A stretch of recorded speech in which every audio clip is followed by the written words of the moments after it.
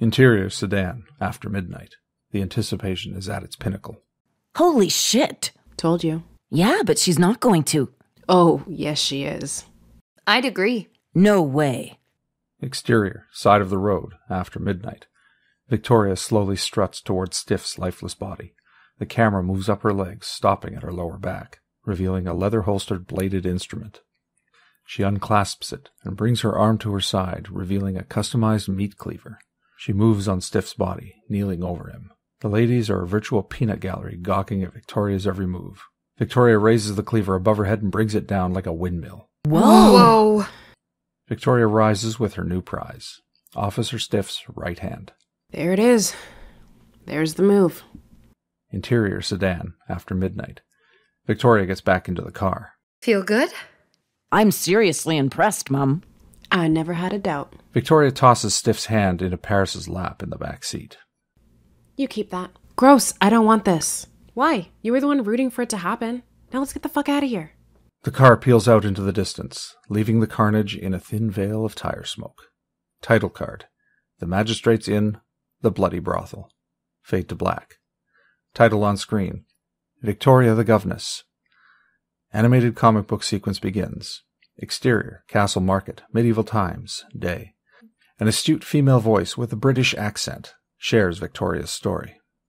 Since the 1300s, Victoria has been on the run, moving from country to country, continent to continent, living a shadowy life of crime. We see Victoria as a young woman in her late teens, early twenties. She's dressed in modest, plain peasant clothes. She drifts through a bustling local market. It's loud. Animal calls and the chatter of trade and barter fill the air. She moves in a way to not draw attention to herself. She double checks over her shoulder before stealing a piece of fruit off a vendor's cart. She's quick to an alleyway to devour her prize, away from prying eyes. She takes a bite, content. It's the first thing she's eaten in days. One way or another, you're gonna pay for that. Victoria spins around to see a grizzled looking man with missing teeth standing before her brandishing a knife. You sound so sure. No such thing as a free apple, you little cunt. Come and get it. The vendor laughs.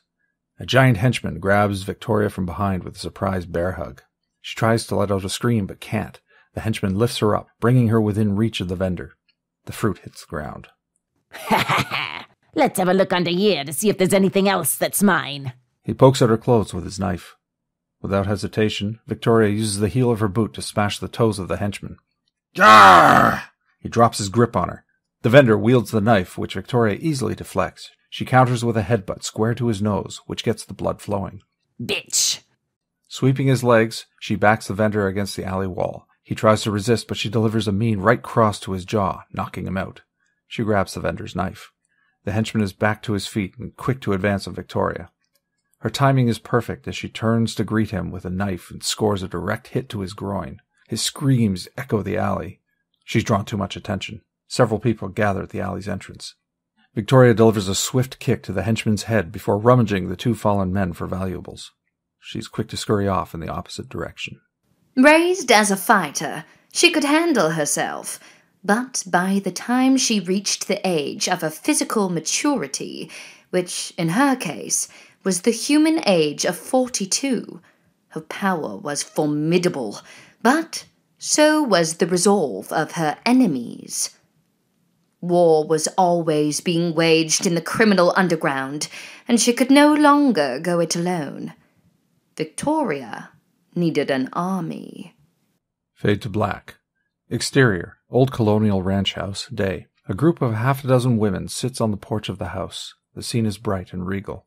A horse and buggy with a flatbed attached to it pulls up to the house and is loaded up with crates of moonshine. In the early 1700s, Victoria got what she needed. She manufactured and distributed the famous Aunt Maisie spirit brand, a business made up entirely of women. The group operated an industrial sized farm in the countryside of Her Majesty's kingdom. They were known as the magistrates, and they were bound by loyalty and a sense of duty to the common good. The driver of the wagon hands one of the women a satchel of money. He nods to Victoria with a tip of his hat. a gesture she reciprocates.